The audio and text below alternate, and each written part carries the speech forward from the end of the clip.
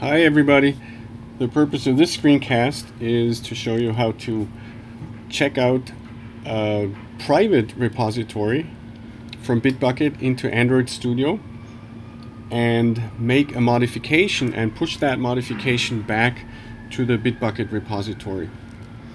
And the prerequisites are, in addition to the previous ones, that you have set up SSH to work correctly with your Bitbucket account.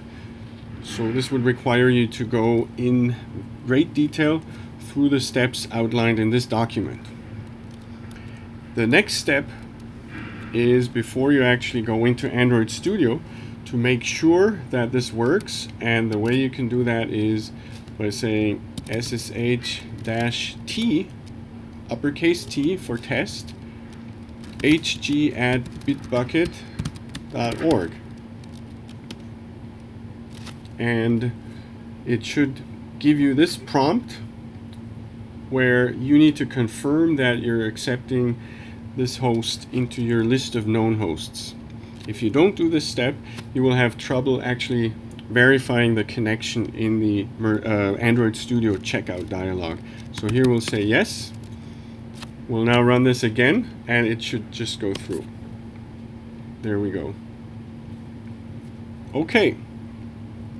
Now we're good to go to the Bitbucket repository page where we will copy the SSH based URL, repository URL that we got when we imported the public repository into our own private one. We're going to work on our own private one. So now we'll switch to Android Studio and we'll check out this private repository from version control using Mercurial and we'll paste this URL and now the test repository step should succeed. If this fails, then you need to go back to the document where it tells you the exact steps to get SSH to work with Mercurial and Bitbucket for your platform. Okay, so we're good to go. We'll choose a parent directory, same as before. And we'll clone this private repository, and this means we'll now have read-write access. All the other steps are the same. Use auto import, bundled Gradle distribution as before.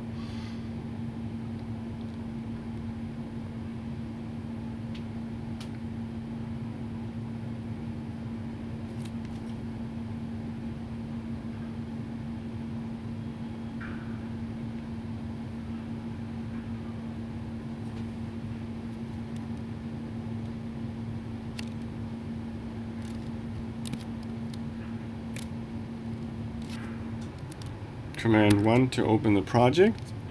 Double check the make settings as before using external build the exact same steps as before. Sometimes these don't stick even per project and you might have to redo them. And this one should stick once we set it. So remember we need to switch from Android to a regular Java SDK because this is a console application and not an Android application yet. Okay, now we should be able to do the same as before, which is run the tests. As expected, they fail. We'll fix them. Actually, we'll fix the subject under test. We'll go in here, fix, rerun the test.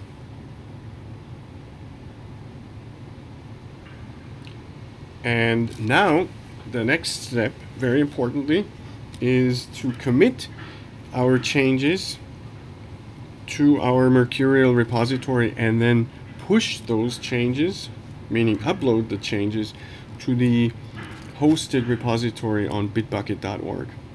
So one thing we're missing, and we need to enable this, is the version control buttons here. So the way to do this is to go into the VCS menu and enable version control integration. So we'll do that here and just select the system here. So we'll se select Mercurial and say OK. And you see how now these buttons pop up. And now here, the up arrow that is the one we want. So commit the changes and then it'll actually allow us to push them as well.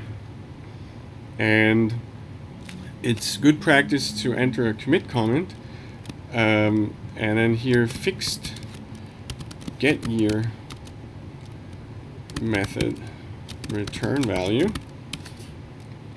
And now we have a choice between just commit that is just a local commit remember that but we want the commit to show up on the hosted remote repository. So we usually want commit and push and we'll choose that and here it verifies the remote URL and that is the SSH URL of our private Bitbucket repository. And normally this would say tip, which is the most recent commit. And we can say push. And this succeeded. And now we can double check on the website for the repository through the web interface by browsing the source here that it actually made this change to 2009 and that is actually the case and you can also see here under overview that there is this commit from 27 seconds ago that we just did through Android Studio. Alright, this is it for now. Talk to you soon.